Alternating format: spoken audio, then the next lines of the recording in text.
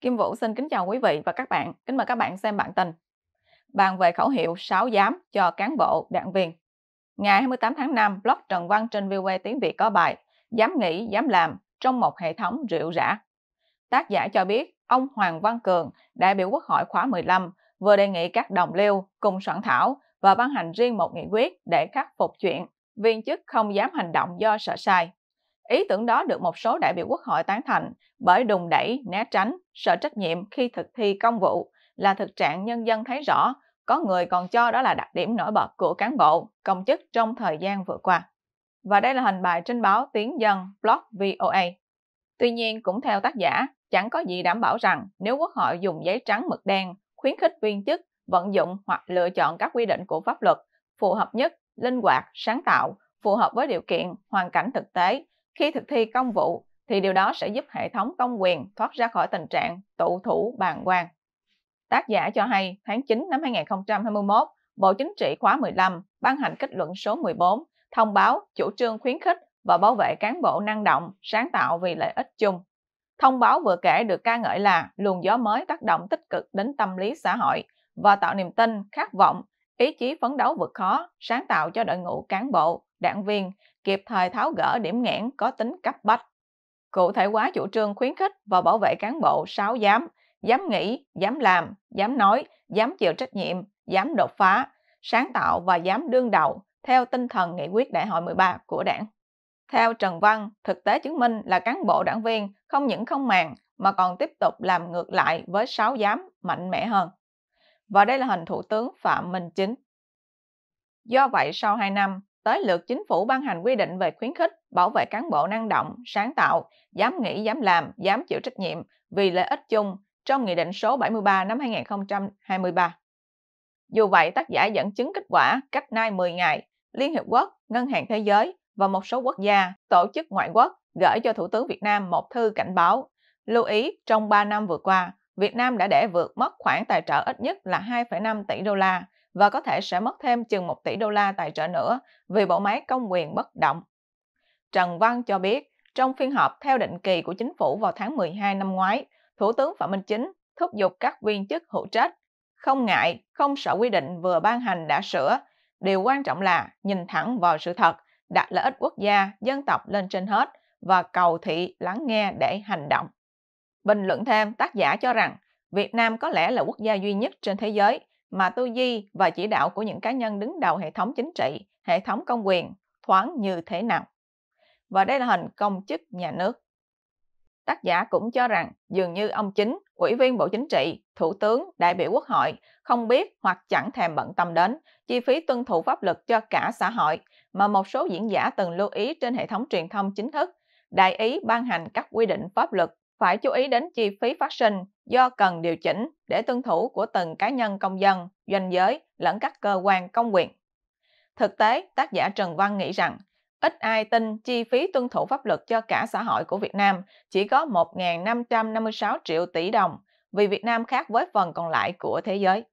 Trong khi Diễn đàn Kinh tế Thế giới từng công bố ước tính chi phí tuân thủ pháp luật cho cả xã hội chiếm trung bình 10% GDP ở các nước phát triển và 15% GDP ở các nước đang phát triển. Tác giả nhận định rằng, thiên hạ sẽ không thể hiểu được tại sao nhìn thẳng vào sự thật, đặt lợi ích quốc gia, dân tộc lên trên hết và cầu thị lắng nghe để hành động.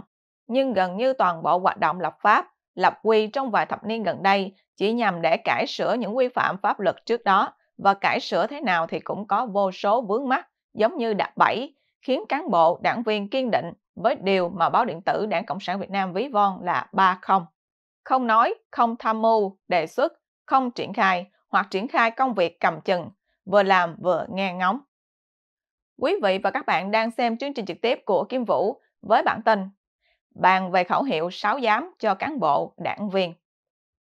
Xin mời quý vị và các bạn chia sẻ video này cho nhiều người biết và bấm nút theo dõi trên YouTube và Facebook của Thời báo chấm đề để luôn được cập nhật bản tin mới nhất và nhanh nhất. Kim Vũ xin kính chào các bạn và hẹn gặp lại các bạn trong chương trình lần tới. Kim Vũ xin kính chào quý vị và các bạn. Kính mời các bạn xem bản tin. Công cụ đốt lò khiến nền kinh tế suy yếu và nhà đầu tư e ngại. Ngày 26 tháng 5, BBC Tiếng Việt có bài Cán bộ sợ trách nhiệm, hệ quả từ chiến dịch đốt lò. Theo đó, tình trạng các quan chức sợ trách nhiệm, không dám ra quyết định ngày càng phổ biến, trở thành một nạn dịch. Nhiều chuyên gia đánh giá đây là tác dụng phụ từ chiến dịch đốt lò của Tổng bí thư Trọng. BBC dẫn phát biểu tại phiên thảo luận của Quốc hội sáng ngày 25 tháng 5, đại biểu Nguyễn Anh Trí, đoàn Hà Nội, phản ánh rằng nhiều cán bộ, công chức và viên chức có thái độ đùn đẩy, né tránh, sợ trách nhiệm trong quá trình làm việc. Nhân dân thấy rõ điều đó, có người còn cho đó là đặc điểm nổi bật của cán bộ, công chức, viên chức trong thời gian qua. Theo BBC, đã có nhiều chuyên gia đánh giá rằng việc các nhà chức trách sợ trách nhiệm hay không dám ra quyết định là do sợ chiến dịch đốt lò cũng như tình trạng đấu đá nội bộ. Và đây là hình bài trên BBC. BBC dẫn một bài viết trên một kênh truyền thông quốc tế lớn đánh giá rằng các cuộc đấu đá nội bộ ở chính trường Việt Nam đã làm chậm lại một cách đáng kể các hoạt động của chính quyền, trì hoãn việc phê duyệt các dự án và khiến hàng tỷ đô la từ nguồn vốn công và từ nước ngoài bị đình trệ, gây ra lo lắng cho các nhà đầu tư nước ngoài. BBC cũng dẫn bài viết ngày 17 tháng 5 của tác giả David Hutt đang trên một tạp chí quốc tế, nhà nghiên cứu từ Viện Trung Âu về nghiên cứu châu Á, phân tích về ảnh hưởng của chiến dịch đốt lò tới kinh tế. Theo ông Hutt, chiến dịch đốt lò đã làm suy yếu nền kinh tế vì quan chức bây giờ đang trì hoãn các quyết định quan trọng vì sợ bị khiển trách về việc làm thất thoát tiền nhà nước. BBC cho biết những ý kiến kiểu này xuất hiện ngày càng nhiều, đặc biệt là từ sau thời điểm ông Võ Văn Thưởng mất chức vào cuối tháng 3. Các nhà quan sát hoặc là nhắc tới việc bộ máy hành chính Việt Nam sẽ ngày càng trì trệ, hoặc là nhắc tới sự nghi ngại của các nhà đầu tư nước ngoài vào Việt Nam. BBC dẫn ý kiến của giáo sư Cartier, một nhà quan sát chính trị Việt Nam lâu năm, nói rằng dù từng là một điểm đầu tư hấp dẫn nhờ yếu tố chính trị ổn định, nhưng Việt Nam đang dần mất đi lợi thế này. Các nhà đầu tư nước ngoài đang đặt ra nghi vấn về tình hình ổn định chính trị ở Việt Nam, ông nói. Và đây là hình Tổng bí thư Nguyễn Phú Trọng, người khởi xướng công cuộc đốt lò.